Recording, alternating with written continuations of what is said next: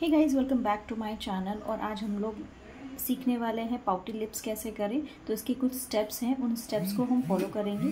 Step one lips को exfoliate करें। Lips को मुलायम और स्मूथ बनाने के लिए लिप स्क्रब का उपयोग करें या एक नरम टूथब्रश से होठों को हल्के से रगड़ें। इसके साथ डेड स्किन हट जाएगी और होठ फुलर दिखेंगे। और साथ ही इसके चैनल को सब्सक्राइब कर दीजिए। कमेंट ज़रूर ड्रॉप करिएगा। सेकेंड स्टेप में हम लिप्स को मॉइस्चराइज करेंगे। लिप बाम या लिप ऑयल का यू उपयोग कर सकते हैं ताकि होठ हाइड्रेटेड रहें।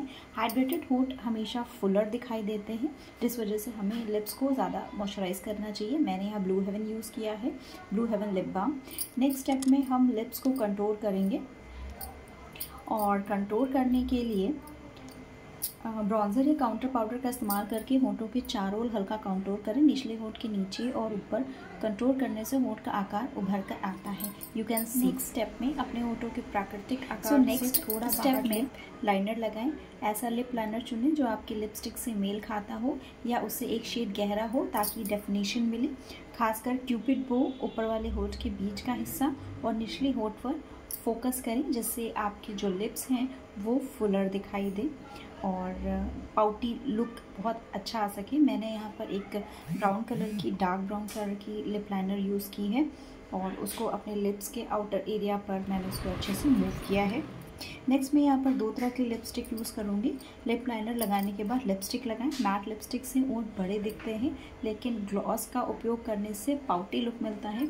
इसलिए मैंने यहाँ पर एक आ, मैट लिपस्टिक भी यूज़ की है और एक नॉर्मल लिपस्टिक भी यूज़ की है। और उसके बाद जो नेक्स्ट पार्ट है वो है सेंटर में हाईलाइट करने का। मैं मैट लिपस्टिक यूज़ करने के बाद जो नेक्स्ट स्टेप है सेंटर में हाईलाइट उसको ऑप्ट करूँगी।